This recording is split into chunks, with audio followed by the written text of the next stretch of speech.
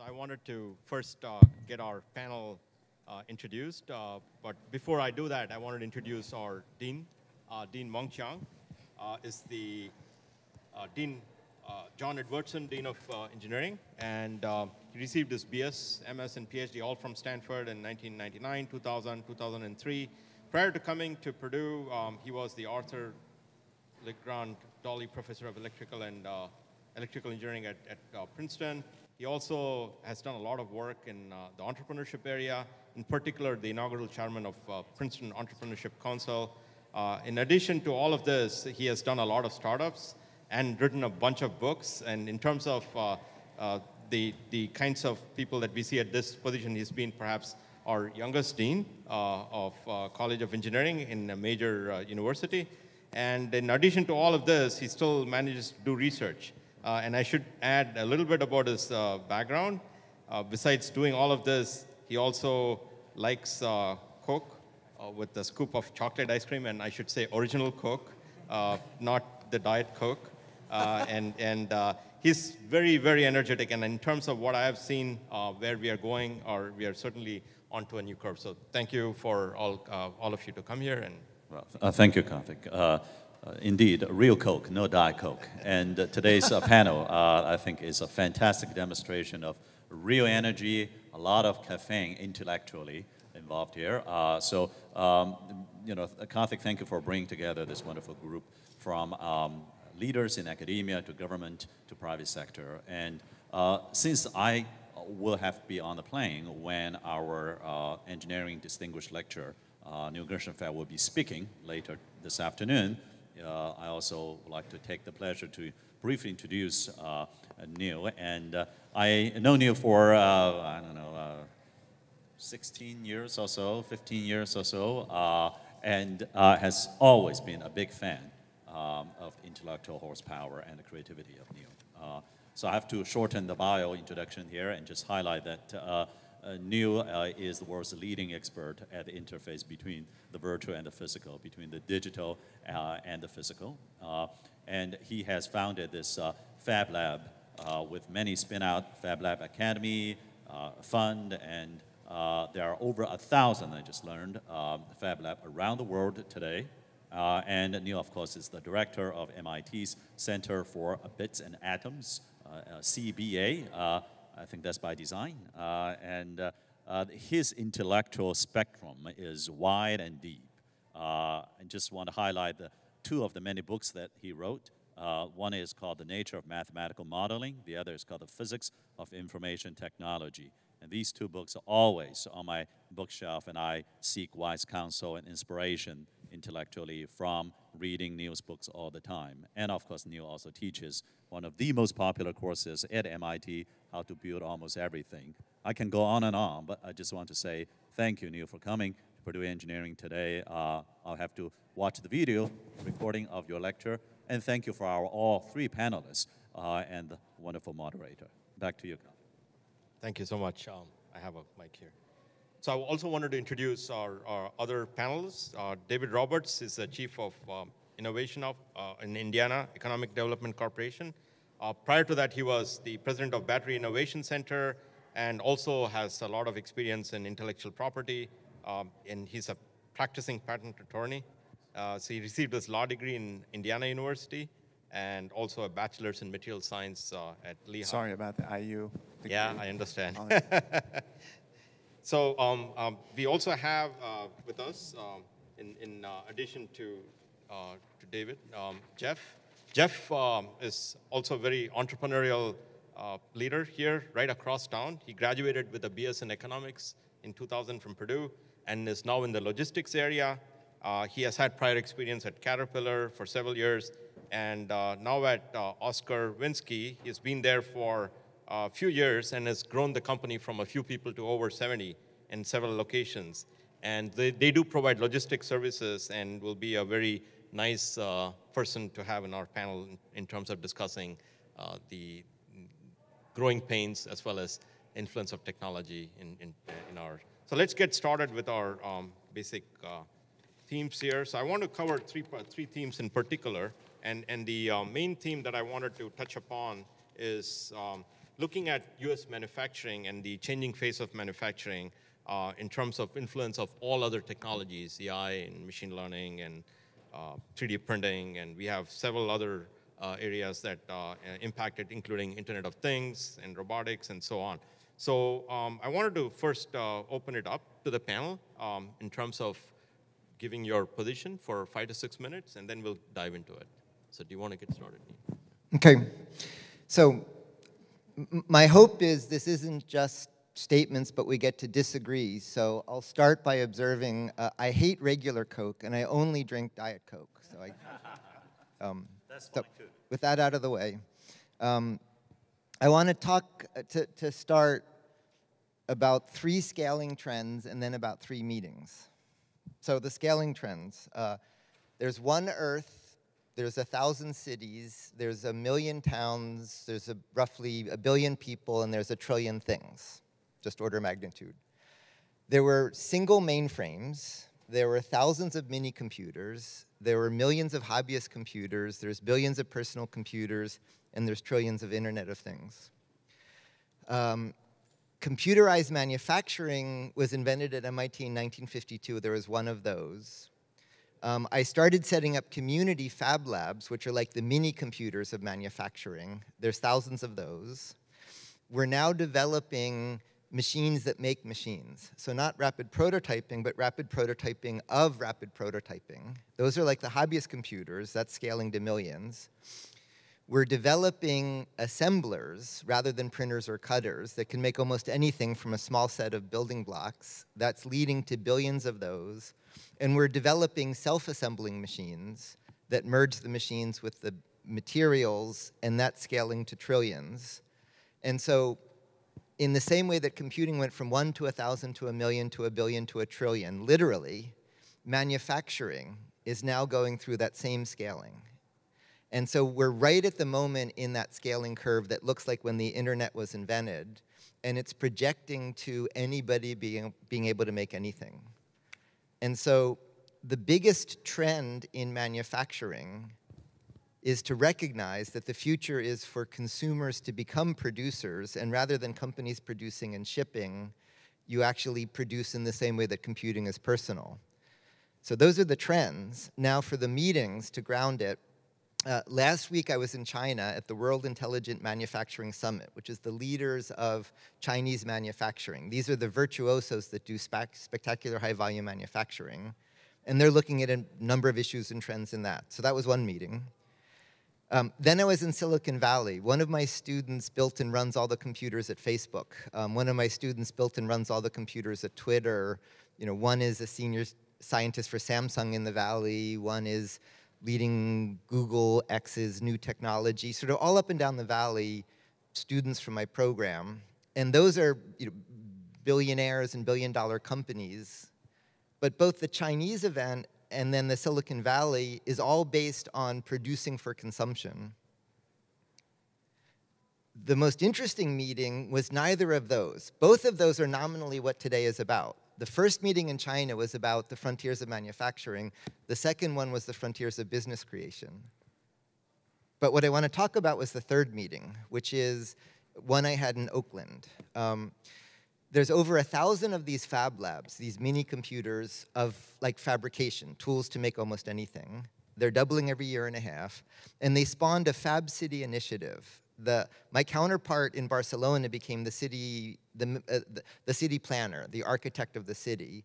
They have a great design sense and 50% youth unemployment. Whole generation can't work.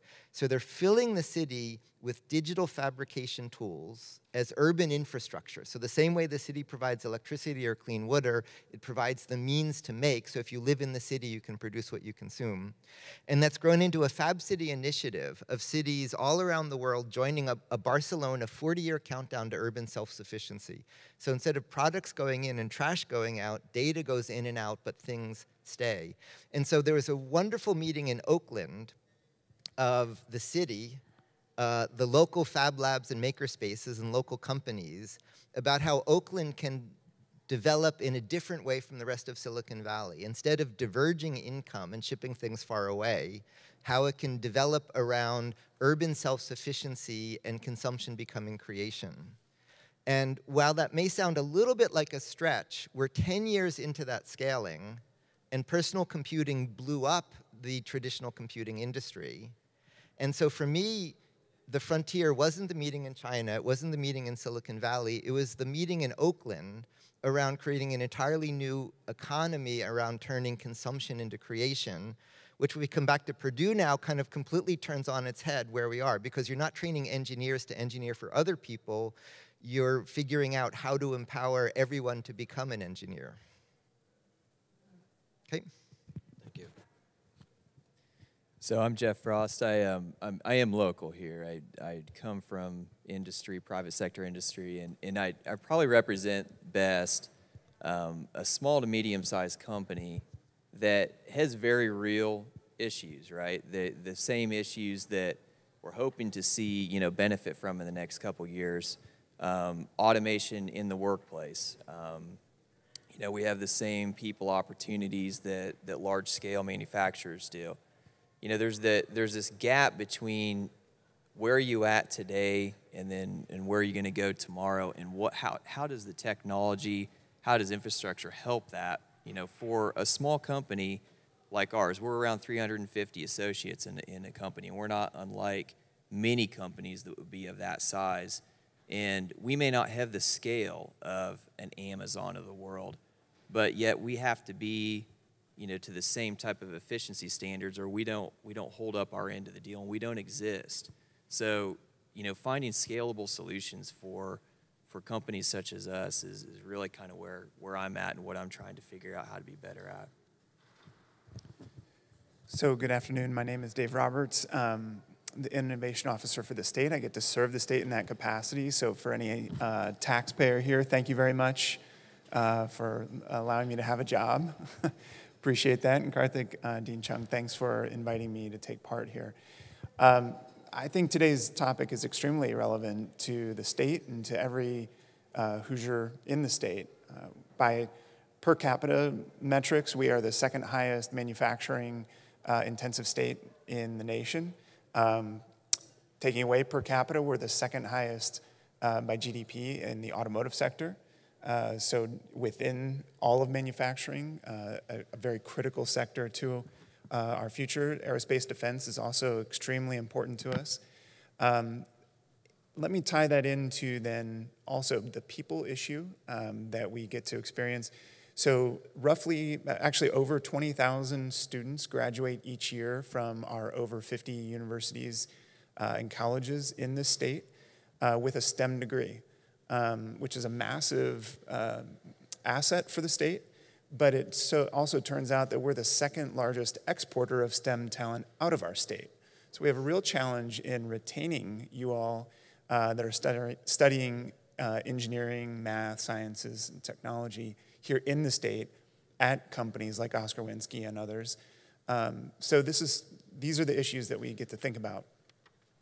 The, um, a few statements, I don't know if they're going to be disagreeing, but at least um, maybe just to set the, set the framework through which we view the opportunities and the challenges um, that may be controversial. Number one is that um, apprenticeship has been dying um, and, and is dead. People hit the work floor at Oscar Winski with the expectation that they're going to produce and be revenue generating accretive uh, to the bottom line on day one. Um, and that's a real shocker. Um, I know when I hit the floor at my first engineering job um, with Lockheed Martin, uh, now BAE, over in Fort Wayne, I had no clue what I was doing. I was sucking wind, and uh, I'm, I was losing money for them for the first two years, and that's being generous. Um, but uh, you need to be prepared to, to hit the ground running, and, and so that's just a reality of where we are. Um, the second thing is that um, craftsmanship at scale is dead. That's worse than, um, worse than apprenticeship. Um, and then the third thing is maybe tying back to um, a point that Neil is making just about proximity of, of manufacturing. If you think about manufacturing pre-industrial revolution, mo- almost all manufacturing was local. It was within your hometown. If you needed a shoe cobbled, it was down the street. Um, then you saw centralized uh, manufacturing and then distributed manufacturing so that you could um, talk to someone like Jeff and think about complex supply chains. And so what we see, I think we're seeing, is a return to localized manufacturing, um, at least for certain components. And maybe that's where we might disagree the most as to which, uh, which items can be locally manufactured and which ones will not be. Will they all? Um, and what are the challenges for localized manufacturing for complex or very large structures?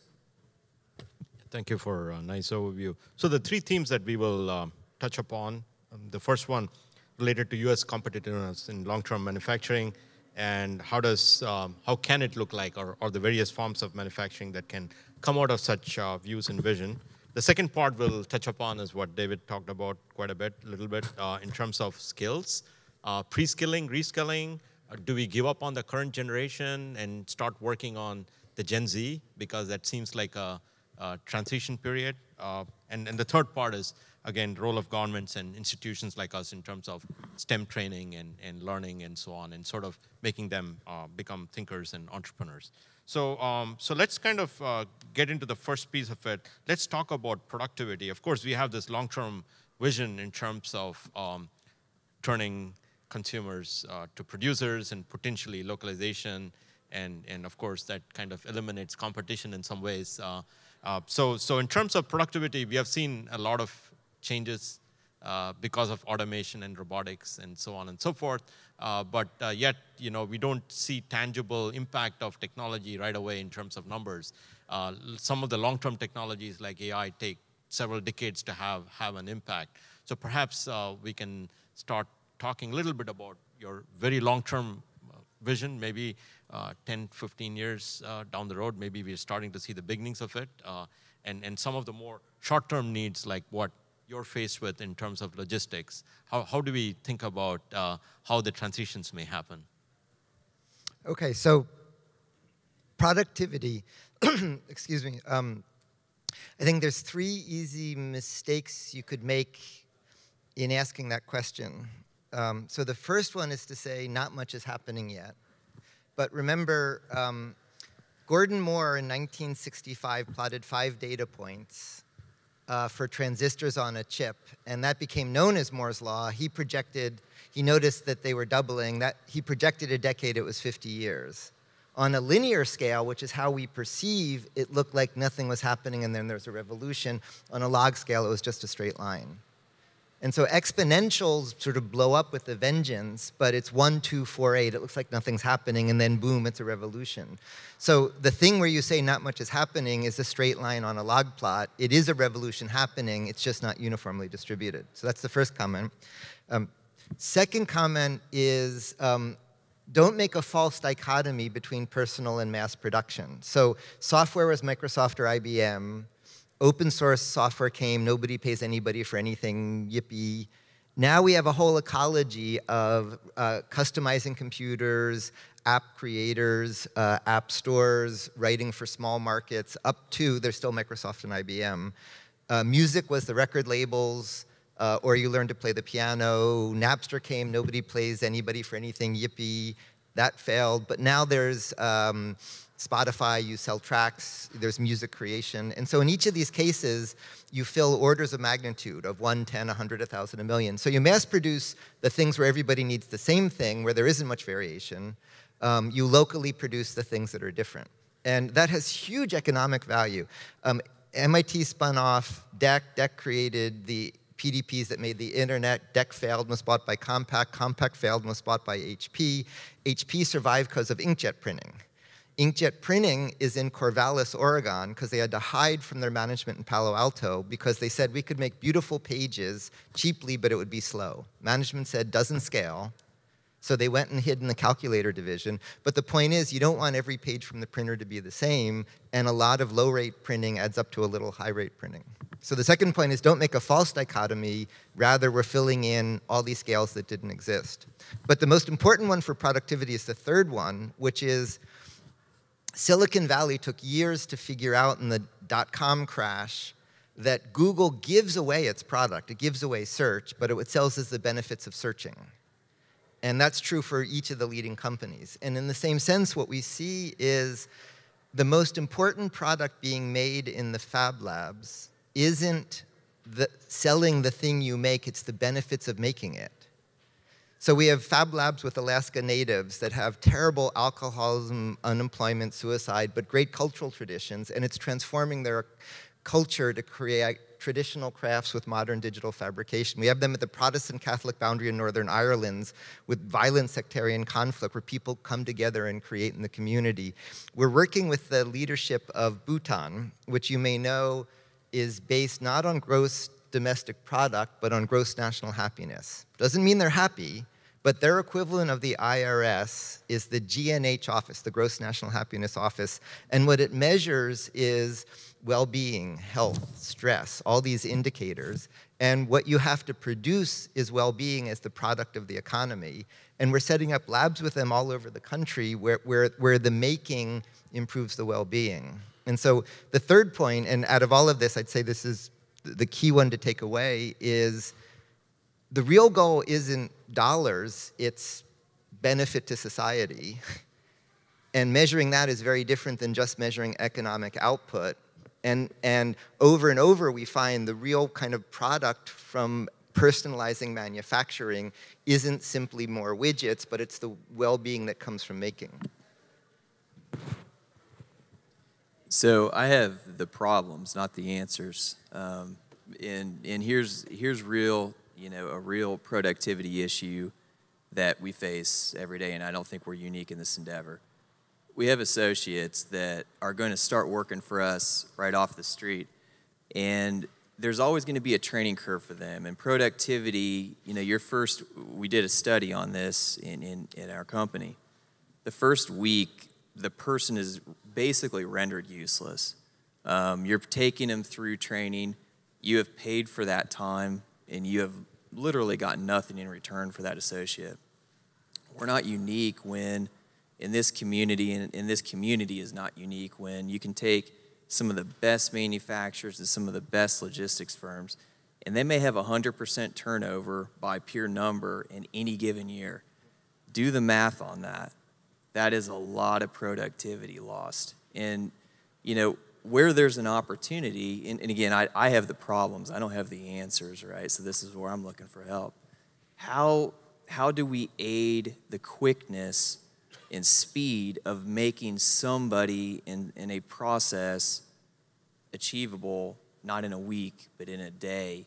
Um, Karthik, I think, you know, is, is, is some interesting things. You know, how do we maybe for instance, tie in the human capital, which I'm in the middle of, with, you know, the mobility of automation that maybe guides them and aids them into being productive in a much quicker pace. That would be a huge, huge win for, for industry right now. And again, I, I, I preemptively say this, I have, I have the problems. I don't have a lot of answers right now, so. Sorry, just one little vignette on that. Um, we did a study, a project with the Department of Defense that has high-tech infrastructure and generally low-tech people. And so we did an experiment where we taught um, at uh, MARMC, a group of soldiers, not how to use machines, but how to make machines. And so we taught them machine building. And um, which they usually didn't get to do. They were just taught to work the machine, not to create the machine. And it had this huge impact of, it was much more interesting for them and it let them see behind what they were using and turned into a lively collaboration. Um, it was very different than the regimented training they had been in. Yeah. yeah. So I think you'll see a trend if Neil has some of the solutions and Jeff has the problems. I get to split the difference and just be confused for the next 45 minutes, I suppose. Um, but let me throw in maybe a fourth dichotomy, and that is, is there, how do you square the circle of um, product, increase, increased productivity versus um, employment? I think there's an assumption right now that as we increase productivity via robotics, that we're going to see lower employment uh, numbers. Do you, is that true? Is that not true? Where are we going with employment numbers?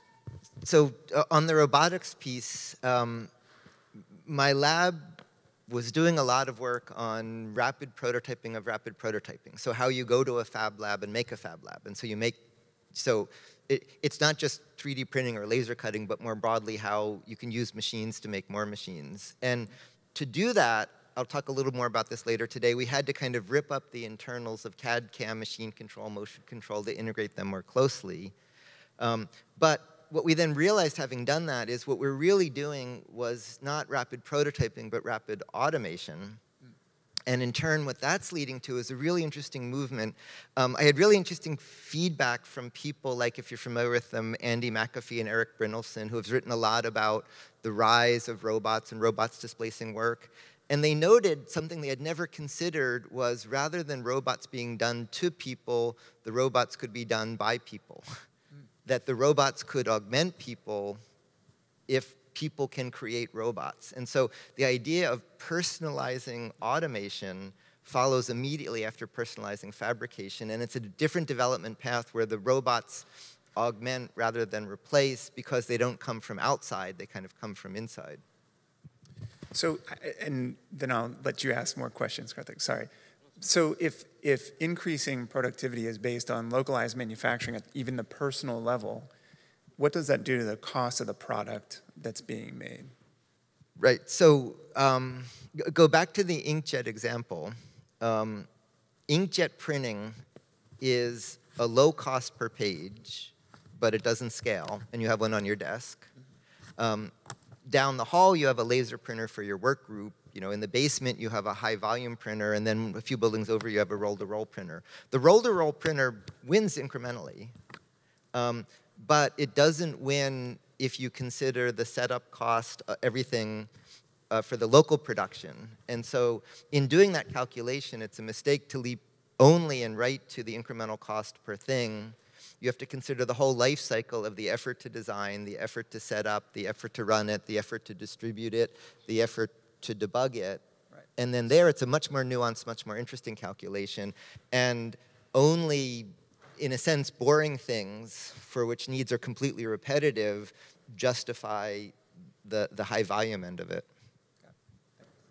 I just wanted to add some comments to it. So um, as you increase uh, productivity and start producing more and become more efficient and so on, there's also a demand response, uh, which is more related to the quality of products and uh, the ancillary jobs that these uh, industries might create and, and so on and so forth. So it's still hard to predict, perhaps, or project how uh, automation is going to change the nature of jobs. Um, perhaps we'll, we'll talk a little bit more about that.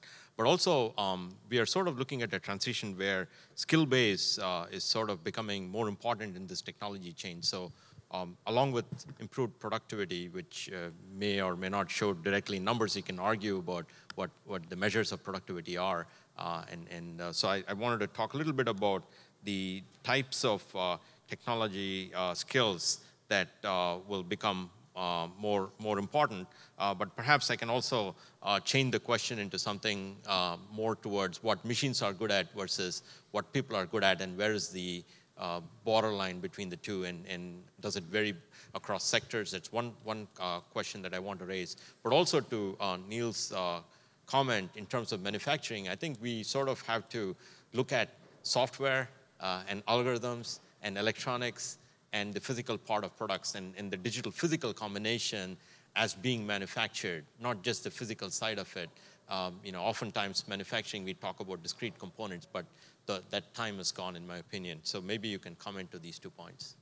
Um, yeah, and so I, I, I, have a way to solve your people problem, but you won't like it. Um, the, um, generally, innovation programs scare me because they prevent innovation. And the reason I say that is, like, my lab has spun off billions of dollars in businesses, and MIT has spun off trillions of dollars in businesses. The economic output, somebody added up, falls between India and Russia. Um, so, you know, it, MIT matches the economic output of a, you know, a billion people, which is a crazy number. And what you should take away from that is not that at any one time MIT has a thousand or so, a few thousand people that are smarter than everybody else.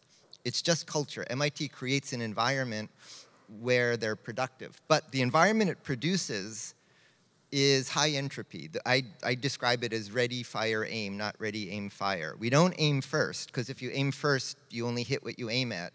We get ready, then we don't look, we just sort of fire, but then we look at what we hit. Um, and the fab labs I started setting up everywhere. And my, I'm joined by my wife Laura, who's been to many of these in Arctic villages or African shanty towns. Exactly the profile of the same bright, inventive people who come to MIT come out of the woodwork. But they're refugees from schools full of rules and businesses with regimented workflows, and they come to the lab as a place where they fit. It's high entropy, ready, fire, aim, peer-to-peer learning, project-based learning, and, and, they flourish in the environment. And so you know, MIT's core technology and the Fab Lab's core technology is how to create these sort of high innovation, high entropy, creative environments. And so I'm sure if I go a few towns over and say you set up one of these labs, out of the woodwork would come kids who are considered uh, troublemakers in the school and employees who are considered problem employees. And it's exactly because they're bright, inventive, and creative and they don't have outlets in these places um, and they're exasperated. So I mentioned the example of taking the soldiers and not teaching them as workers of the machines, but teaching them to understand the machines and sort of empowering them and it was a wonderful experience. And so um, we're surrounded by brain power, but, but we do everything possible to prevent it, to limit it, and to constrain it. And really thinking about the sort of social technology of, it's not rocket science. It's, it's sort of ready, fire, aim, project-based, peer-driven, um, creative, uh, you don't try to settle all goals in advance, or just sort of that, that whole package, but recognizing that's attractive for brain power, and the brain power is everywhere um, if you don't squash it. Yeah, so um, Jeff and I found out, uh, shared some time at Caterpillar, and not to call them out in particular, but just to use them as an example of a very large manufacturer of durable goods that has a lot of um, systems and processes in place. There is a process for innovation Okay, just let that sink in. I mean, the innovation really doesn't happen until you start breaking the rules or you get rid of the rules. And so, how can you have a system for it, an ABC system for it? Now, ready, fire, aim, uh, you know, is sort of like a recipe, but not really. It, it's more of a license, and um, that's what that's what we re really need for innovation. And I'm thankful Dean Chiang and I um, were together yesterday, but he had to leave early before he had to endure my remarks, and. Um, so this won't be a repeat. But as an innovation officer, I'm thankful because innovation has become a buzzword. But the, the downside of a buzzword is that people lose sight of what the core really is of innovation. It's problem and solution. That's it. We've identified a problem, and I'm sure Jeff could give you a list of a dozen that he's enduring today and trying to figure out. And then we all just think, well, what's the solution? A, B, C, D, E, F, no bad solutions yet and then we and then we evaluate which one is going to be the best. And now so, we have something called innovation. So let me disagree with that in that okay. um, that that works for a very bounded notion of innovation. But for me, more important than that is traffic. And so what I mean by that is like um, my lab created a $100 million a year business that's the dominant safety sensor for the auto industry to controlling airbags that were killing infants in rear-facing child seats. And it came out of I was doing a magic trick with Penn and Teller in Las Vegas. And they wanted to contact Houdini. And what I had developed was a way to channel fields through bodies to make a, a spirit cabinet so they could contact Houdini. And it just happened, an NEC executive was coming through my lab and say, my goodness, wouldn't that work in an automobile? So we made it look like a car. They took it to the auto trade show. And um, off it went. Or my lab created the standard for what became RFID tags, the, the reference readers uh, for auto ID, EPC, supply chain. And that came from, we were developing quantum computers. And we had to program nuclear spin dynamics. And the point of these stories, it's a mistake to believe you do basic research, then applied research, as often as not, it goes backwards. But each of these stories, we didn't realize we had solved a problem. Those people didn't realize they should be talking to us. The real magic came from crossing dissimilar paths. And so yeah. I would caution against here's the problem, let's find a solution. Um, that has a role, but I would maximize what's usually neglected, which is how to cross people who don't think they should be talking to each other to find these kinds of opportunities to make this less of a disagreement, what I would say is that what you've described is solution and matching with the problem, right? It's still the same components. It's just which way are you going? Right, and it's Yeah. in the backwards. It's the backwards order, which is frequently neglected to the point of not even believing it exists. But historically, over and over, it's one of the most important paths. Yeah. Well, and I think that's important because you know you're going to have uh, a medium-sized company like we are, and we don't have the opportunity to really experiment a lot, right? Experimentation costs money, and you know, so but we're very, very opportune on what could be um, the next structure. So I think I agree. I think that there is creativity um, that is absolutely lost in probably today's society that can be fostered and potentially provide benefits to folks like myself. Um, we just we have to have kind of that solution that comes fairly quickly into play um, before we can invest too heavily in it. I mean, to, to make that example concrete, I just had a really interesting um, meeting with the sheet metal industry because uh, I have a group of people in my lab who are leaders in an emerging field of the math of folding. There, there's this gorgeous subject of turning origami into a rigorous mathematical subject. Um, but it turns out if you apply it to sheet metal, it lets you turn 2D shapes into complex 3D forms as a direct write fab process. Um, and there, what it means is you need to bring together people who do origami these fundamental mathematicians and then with people who do sheet metal. And you know, I happen to be in an environment where those sort of paths cross, but, but ge- generally you wouldn't have a chance to meet people doing origami, as an example. So I want to break a little bit to the audience to see if there are any questions, comments, uh, spin-offs from the discussion so far. While, while you're all rousing up the courage to ask a question, I just want to point out something about our, our bias coming into conversations, into problem solving, into all that. When Neil said sheet metal, what kind of factory did you envision? And then when he said mathematics, what kind of problem solver did you envision? Just throwing it out there. Those, those they're not incongruent. Um, they need to come together, right? Traditional steel worker and a mathematician. Uh, you know, it, it, it challenges maybe our assumptions coming into a lot of these conversations. Um, hello. Uh, thanks for all your uh, comments. And I'm pretty. I want to spin off a question based on um, Jeff's situation. And uh, so, for example, startups start off with a creative way to solve a problem, and it's um, you can define it like in the beginning, it's just innovation phase. Um, but at a certain point, once you kind of know what you want to do, then you um, like when you, for example, become a medium-sized company, then you um, you kind of know the process, you know what you need to do, and um, you're kind of optimizing for a single path. Um, so, what's the right point, or um, at what stages is it even okay to limit innovation versus always having maybe um, is the right answer kind of have always having some part of the organization which is always kind of hey go out there do whatever you want kind of uh, open innovation?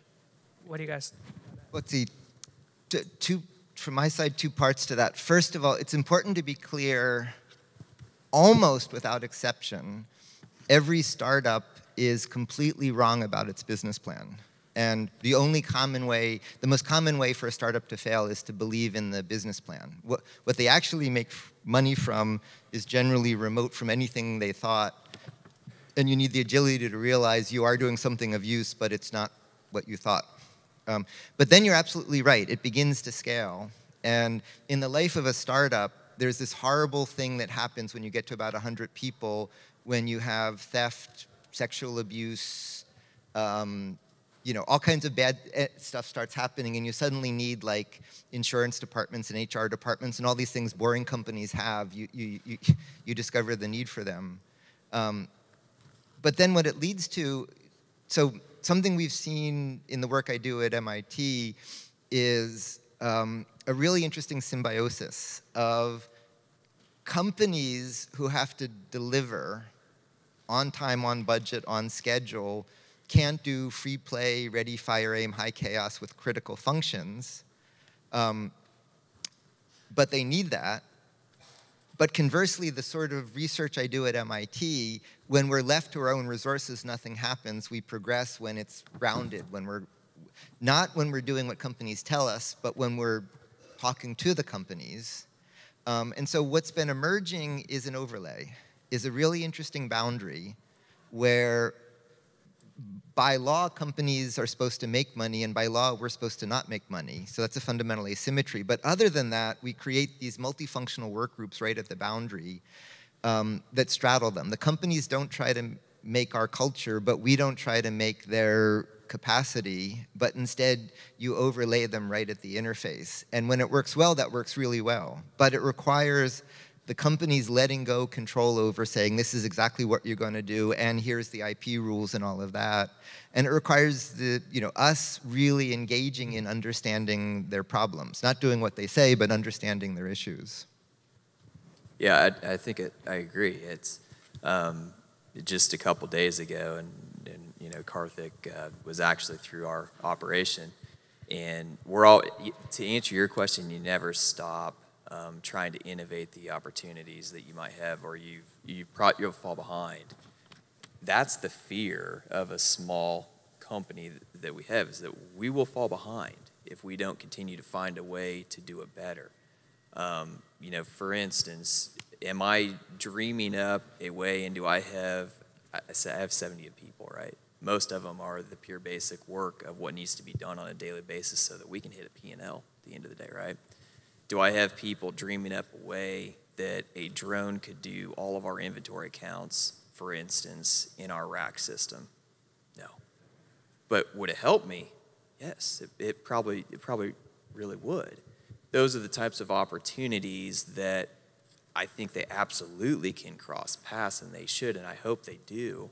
Um, but you have corporations and companies um, that are much like me that they don't they don't have that going right now inside of their four walls. Satya, I have an offer. Um, the uh, for this Fab Lab network. So if I start a business at MIT, it's really easy to handle investment and incubation. But with this Fab Lab network, we had to start an educational program. We had to start a nonprofit to support it.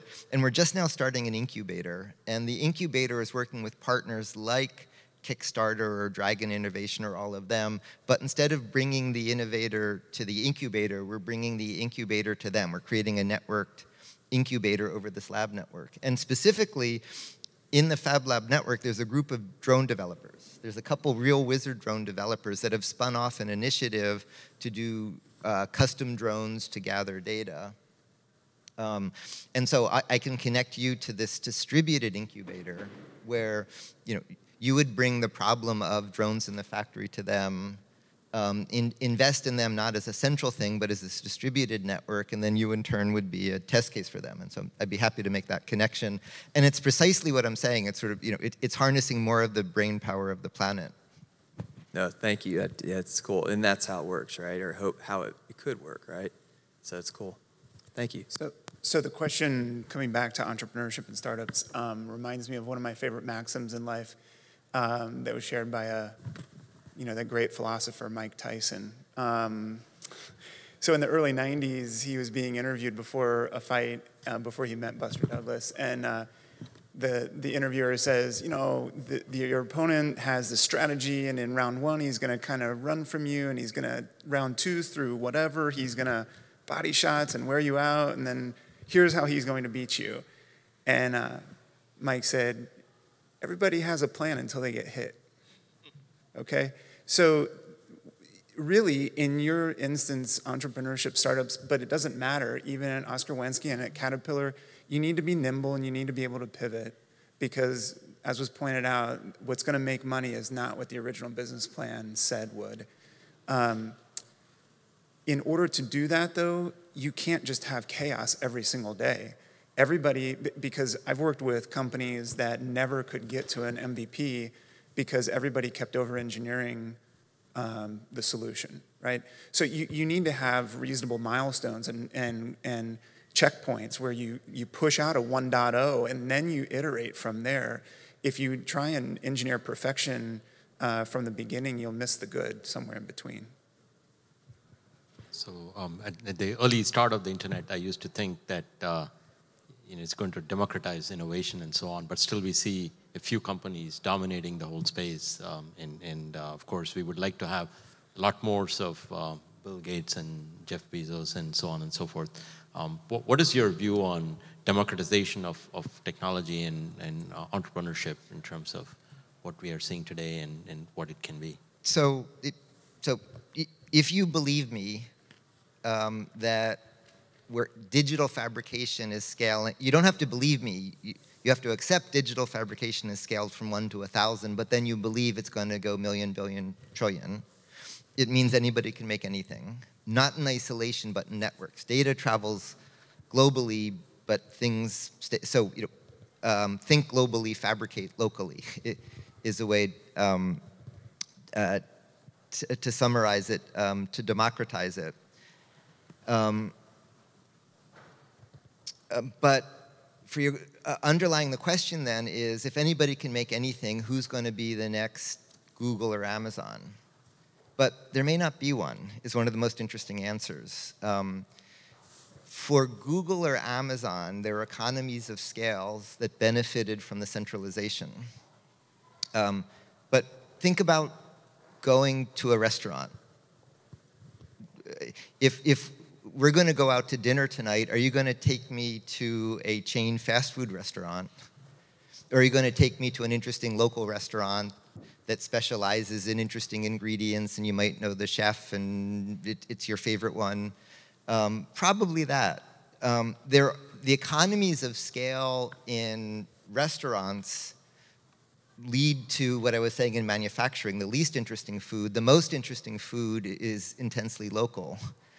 Um, and it may look much more like that, that in a world of where bits travel and atoms stay and production is local, um, well, first of all, I have to often explain to companies who want to become like the IBM of personal fabrication to say, if the machines can make the machines, it's not such a great business to make the machines.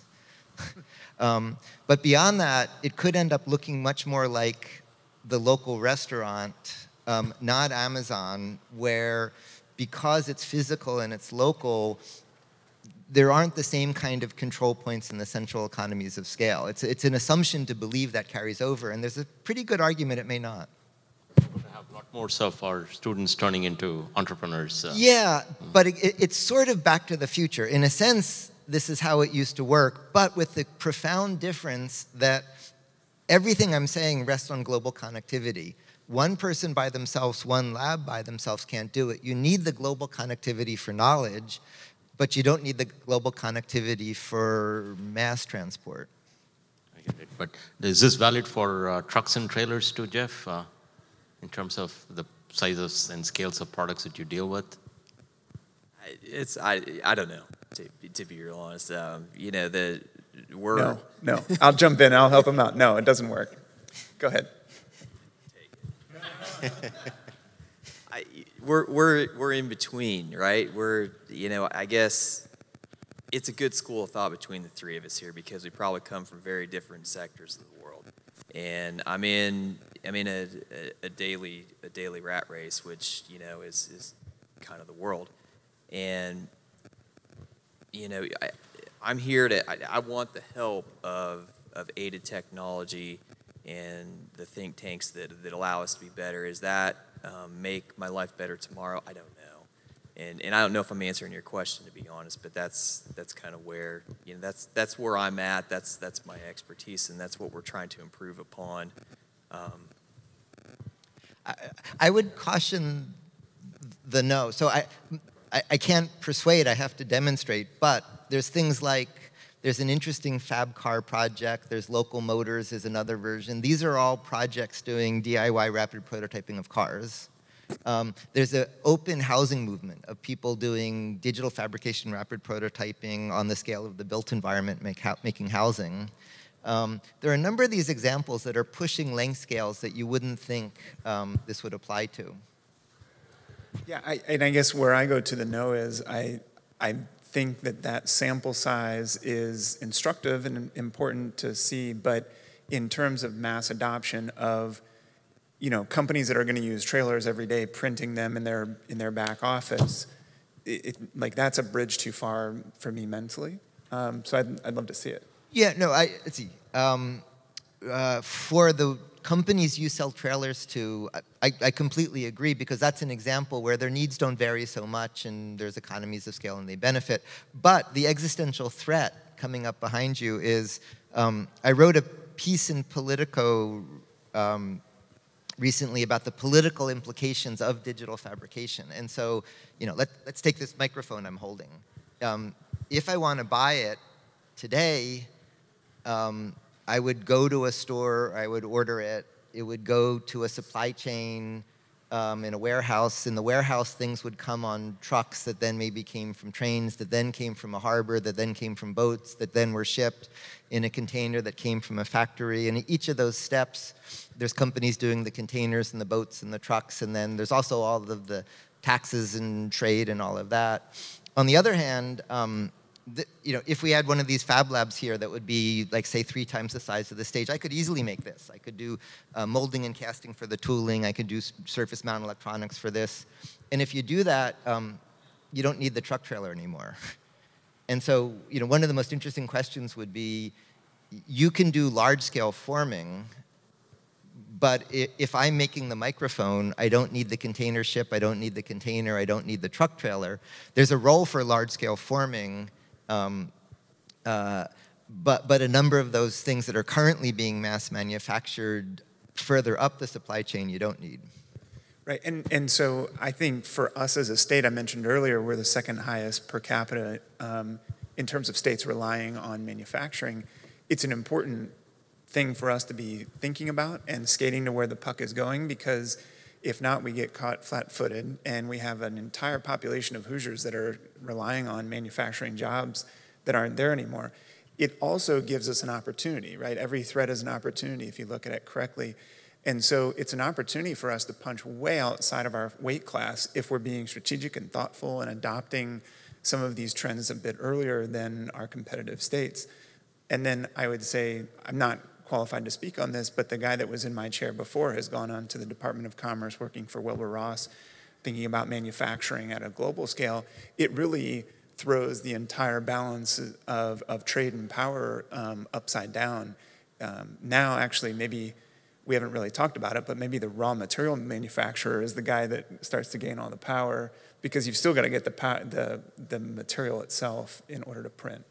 Is that fair, or am I missing something on that one? Yeah, so that's a really interesting point. It, right, right now, among the most sensitive battles are trade tariffs. I'm sure it's really complex locally, the consequences of the current trade wars. Um, in the world I'm describing, it, it, doesn't do battle against them. It's sort of an end run around them. If you can ship data and produce locally, the tariffs just don't matter. But to your point, um, the vendor I buy electronic components from is DigiKey. DigiKey stocks 500,000 different types of resistor, 500,000 different types of capacitor, 500,000 different types of connector. Underlying those are just three material properties, conducting, insulating, and resistive. Um, you're made from a total inventory of 20 parts called amino acids. And those 20 parts make all your complexity. And so in the upstream research, we're not talking about 3D printer filaments. We're talking about assemblers of these basic material properties. And it turns out that with about 20 properties, like conducting, insulating, semiconducting, magnetic, you can assemble those 20 properties to make much of modern technology. And so you do need material supply chains, but biology doesn't rest on finely divided different minerals. It just rests on these 20 properties. In the same way, the underlying research aiming to get rid of the global dependency in the supply chain is boiling it down to this much smaller set of material properties that you can compose. And in a very fundamental way, that's actually digitizing the construction of the materials at the, at the heart of the research. I think uh, we are kind of uh, reaching, I wanted to give the audience another chance to participate and have more questions come out from all of you.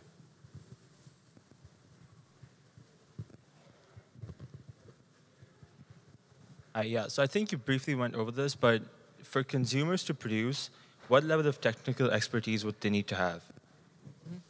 Yep. So uh, th- there's two ways to answer that. One is um, take, take, take this device. So this device has the capacity just a few years ago of a supercomputer, not metaphorically, literally. Just a few years back, th- this was a Cray computer. Um, and if you look at the services on this, uh, what it can do, this was state-of-the-art frontiers in the most advanced computing just a few years ago. Um, if you look at the use of this device, almost anybody can turn it on and operate it. Um, you all customize it. You pick your icons and your themes. Um, within any one application, often there's scripting, things you do to personalize and customize it. Then one step in, there's things like MIT's App Inventor, um, tools that make it easy to get a beginner start in coding. Then there's tools to support sort of one step in coding, all the way up to you know writing the core operating system. And so it's not a true false statement. There's, there's again a powers of 10, and there's things you can do in a day, a week, a month, a year. And so we see the same thing is true in the Fab Labs. There's things you can do in a day, a week, a month, a year, but we consistently take people from beginners into mastering the skills. Um, you know, at MIT, I, I teach this very popular class called How to Make Almost Anything, where you learn all the skills that I now teach globally. And we mix engineers with artists, with scientists, with community activists. But what's interesting is the artists teach the engineers about engineering, and the engineers teach the artists about art.